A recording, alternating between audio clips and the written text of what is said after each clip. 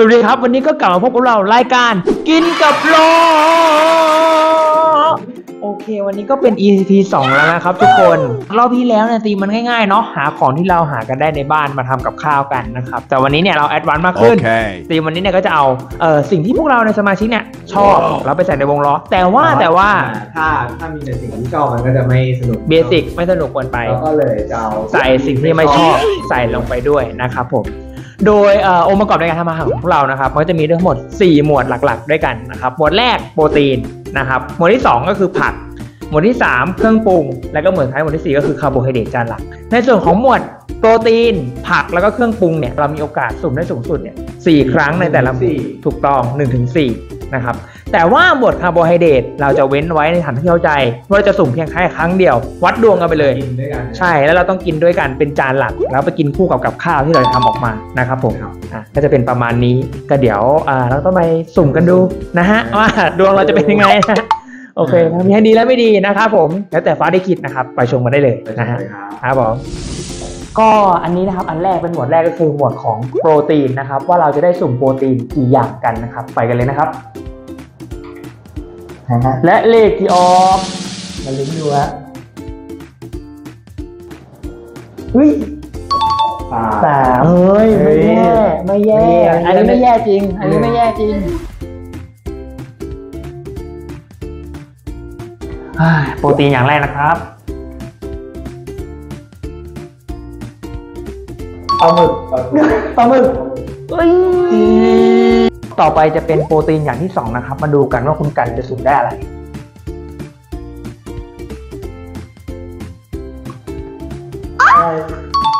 สามหมูสามชั้ชั้น น เออ ไปสุ่มโปรตีนอย่างสุดท้ายกับคุณบิ๊กกันครับ ผมว่าผมต้องได้สิ่งที่ผมอยากได้ที่สุดแน่นอน ผมคาดหวังว่ามันจะต้องเป็นสิ่งที่ดีที่สุดให้กับ กลุ่มนี้นะฮะ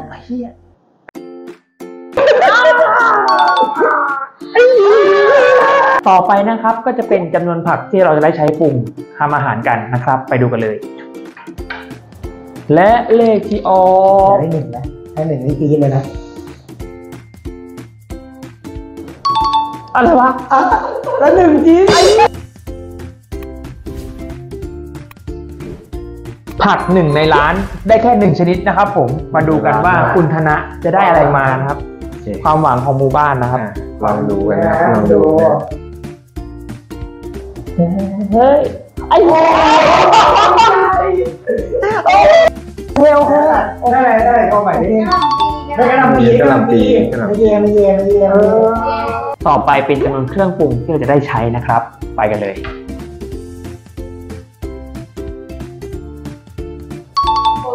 สอง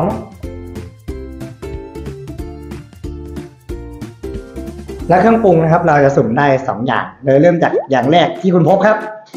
ยังไงครับพบคุณได้ซอสมะเขือเทศนะ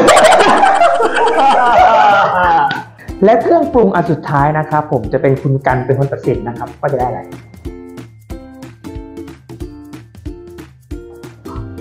นี่แบบนี้ต้องใช้เลยซอสเทริยากิ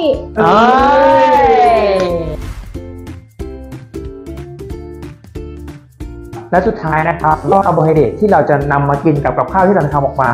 คุณธนะจะเป็นคนเลือกให้เรานะครับ ถ้าในไวๆยังไงต่อวะก็ผัดเอ๊ะทอดทอดเลยขนมปังทอดว่าเรากินแยกไอ้เหี้ยไอ้เหี้ยอ่าแล้วขนมปังจริงกินกับขนมปังด้วย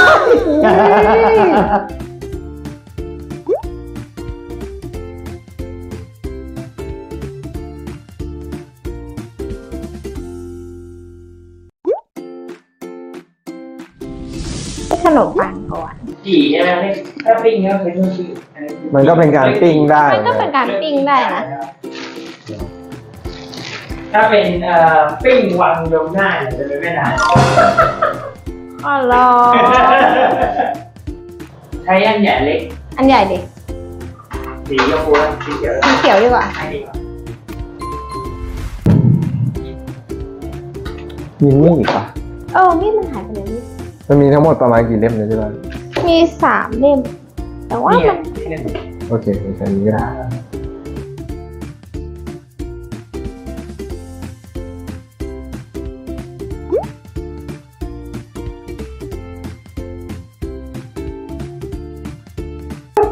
เนี่ยหลังจากนี้คือก็จะเอาไป เอาไปยัดปากไอ้ครบ เอาไปลวกใช่ไหมใช่ใช่เอาไปลวกก่อนอะแล้วลูกปิงปองผมอยากให้ผมทำอไมได้บ้าง อย่าเล่นมุกก็พอผมอยู่เฉยมีสูตรอะไรบ้างฮะมีมะเขือเทศกับมีมะเขือเทศกับอะไรวะๆเทริยากิกูจำไม่ได้ใส่ไปแค่นี้อันนี้เป็นสูตรซอสนะครับแต่ถ้าเป็นสูตรจะไม่ดี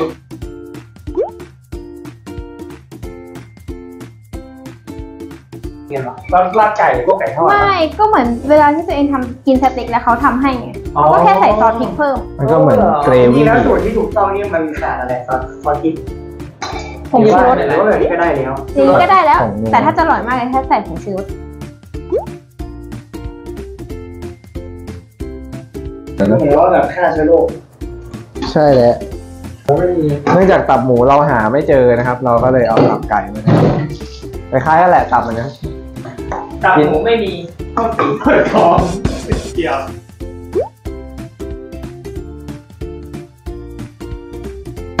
ทำไมเราคุณตามไม่ทันเลยเออเกือบแล้วเมื่อกี้มันดีดว่ะ มันดีด มันดีด มันดีดโดนไปหลายตัวนะโดนไปหลายตัวใช่ไหมมันดีเนี่ยมึงดูโคตรหยดเลยเทียบเลยอะ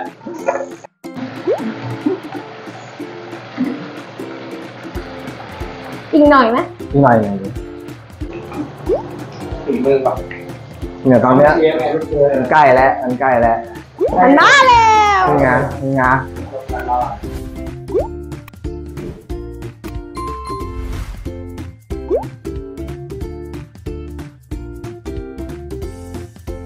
แล้วหรอเออขนมปังใช่ไหมแล้วก็อย่างนี้เหรออืมเราทำแบบนี้นะฮะใช่ปั๊บปั๊บแล้วก็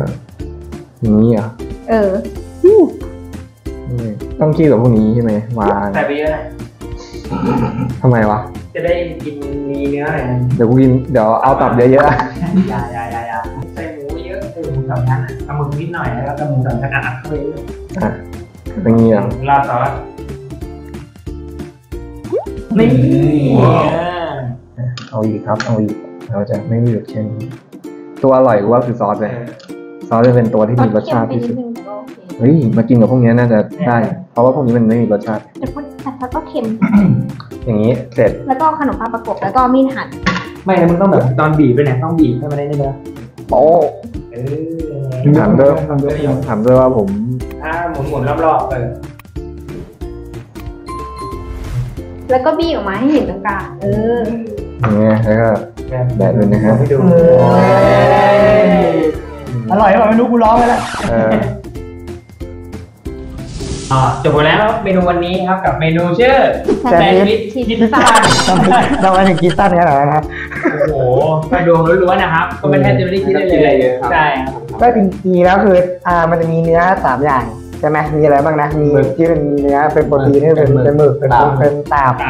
แล้วก็หมูสามชั้นนะไอ้ตับตรงเนี้ยเราเปลี่ยนจาก ตับหมูเป็นตับไก่แทนไก่แทนเพราะว่าไปดูแล้วมันไม่มีเนาะแล้วก็ทำออกมาในรูปแบบของแซนด์วิชแล้วก็อ่าราดตัวซอสเทอริยากิกับมันซจะอสมีทะเลกับเคี่ยวเคี่ยวมะเขือเทศ Okay. อ่าถ้าลองชิมกันแล้วรู้สึกยังไง enjoy enjoy เราก็ enjoy กันเลยไหมจะได้รู้ enjoy ครับเอาคุณพบชิมเลยฮะคุณธนาไม่กินนะฮะเอาเลยนะนะฮะเดี๋ยวผมขออนุญาตราดซอสเพิ่มมาได้ไหมก็ได้ใช่ปะเอาเลย อาจจะช่วยให้อร่อยขึ้นอืมดีพี่เด็กเนี่ยนี่ครับอืมไม่ได้เรื่องไม่แย่แต่นี้ก็เป็นแซนด์วิชพิซซ่านะแต่กระหล่ำกระหล่ำก็ไม่แย่ เออกระหล่ำเข้าอยู่นะแต่ก็ไม่เหมือนดีเป็นผักเนี่ยเข้าอยู่ปะแกล้งแบบแซนด์วิชไงเออใช่ไหมมันก็เข้าอยู่เลยแต่ว่าแซนด์วิชอะเอาไปจืดกระทะแล้วอร่อย แต่คือโดยรวมอะโดยรวมพอกินได้อืมกลางๆไม่แย่เดินลมขอให้แนะนำให้ตัดตับกับปลาหมึก แต่มันออกอืมใช่ก็ถ้าสุกเป็นเมนูปกติไปแหละอืม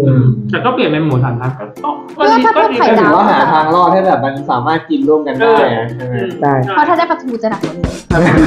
ดูว่าคงจะใส่ปลาดูกันทั้งตัวเรามาสรุปกันหน่อยว่าแต่ละคนกินได้หรือกินไม่ได้อะเริ่มจากคุณโยครับ คาดว่าน่าจะ คือมันก็พยายามทำให้มันปกติที่สุดให้เราสามารถกินได้เนาะเออก็น่าจะกินได้แหละ สำหรับการกันว่ามันกินได้แต่สารภาพตรงๆว่าไม่กินหมึกกับไม่กินตับเมื่อกี้ก็เลยกินไปแค่หมูสามชั้น อืม ซึ่งมันก็โอเคสำหรับโค้กให้กินไม่ได้แล้วกัน เพราะว่ามันเสียรสตรงตับตรงหมึกแหละอืม ก็เลยรู้สึกมันมันแปลกจริง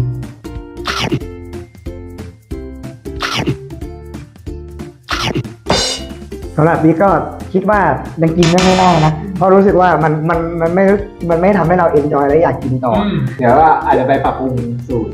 ในให้เราสามารถกินได้ EP หน้า Okay. อืมแต่วิธีการทำก็เป็นวิธีการทำปกติที่เพื่อนๆสามารถลองทำอะที่บ้านได้ แต่แต่แต่อย่าทำนี่แต่ก็รู้สึกว่ามันแปลกดีนะคือเราก็ไม่เคยที่จะเอาอะไรมาผสมแบบเนี้ย คิดว่ามันอาจจะต้องจัดการกระบวนการอะไรต่างๆ ให้มันดีขึ้นกว่านี้ใช่คือวิธีการทำอะต้องทำให้ดีใช่กว่านี้ ใช่ก็คือแก้ไขปัญหาเฉพาะหน้าแหละวันเนี้ย อืมวันนี้ก็จะประมาณนี้เนาะทุกคนก็เดี๋ยวเรามี EP ต่อไปแหละ EP หน้าเราดูว่าจะคุมธีมวัตถุดิบต่างๆยังไงกันเนาะก็ไปติดตามกันนะครับผม Okay. สวัสดีครับ